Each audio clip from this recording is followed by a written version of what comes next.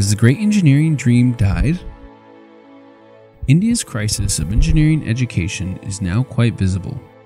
Indian engineers who used to dream of working in big offices, driving luxury cars, and living in large bungalows are now concerned about finding a promising job as they get into their final year at college.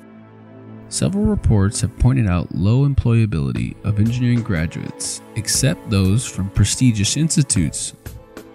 Most engineering colleges are unable to provide education to engineering students that would get them suitable jobs.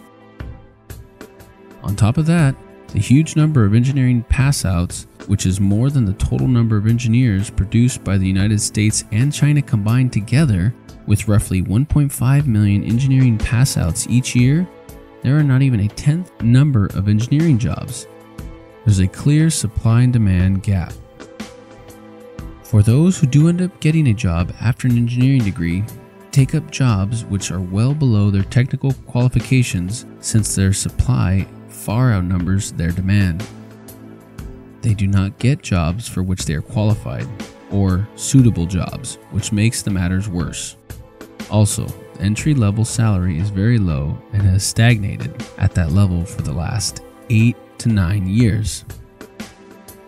Conversations with students, faculty members, and higher education experts suggest students don't always sign up for engineering courses just to become engineers and to start designing new engines for cars, extending the lifetime of a battery. Most of them simply want a job, any job, and given a choice, a job with the government.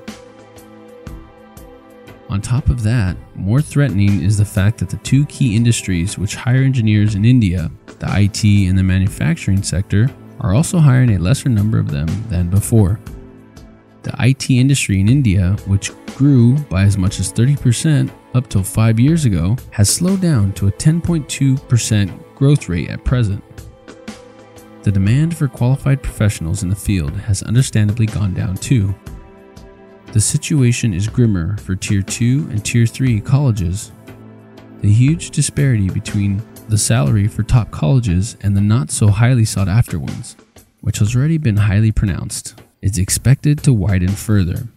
While average startup salary for an IIT pass out is 9 through 10 lakh Indian rupees per year, that of a second grade college pass out is barely 1.8 to 2 lakh a year. Students who come from humble economic backgrounds and whose parents had to arrange student loans to be able to give their wards a decent education and ensure a bright future are worried too.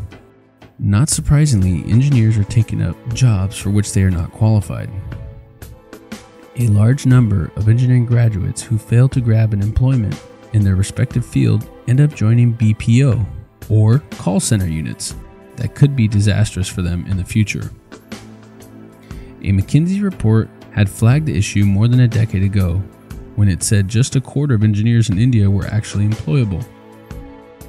The website named as the Logical Indian wrote about a mechanical engineer who is driving an auto rickshaw in New Delhi because he has hungry mouths to feed and a family to look after. It is pertinent to point out that only a small percentage of those who pass out from engineering colleges do possess any skills worth a name at all. Most of them are not employable or require a long term training to do a job. One of the major problems is the students opting for this course. A large number of them were forced upon by parents, and many of them were taking the course just because their friends were opting for engineering. At the root of the problem is mushrooming of low quality engineering colleges over the years. As students from such colleges fail to get suitable jobs, they face decline in enrollment. Now, a large number of these colleges are being shut down as students are now becoming more aware of the current situation. There will be around 80,000 less seats in engineering this year in the country. This will lead to around 3.1 lakh seats less in four years. According to all the India Council for Technical Education, nearly 200 substandard engineering colleges have applied for this closure.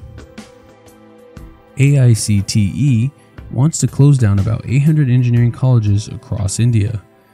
There are no takers for their seats, and admissions are plunging in these colleges every year.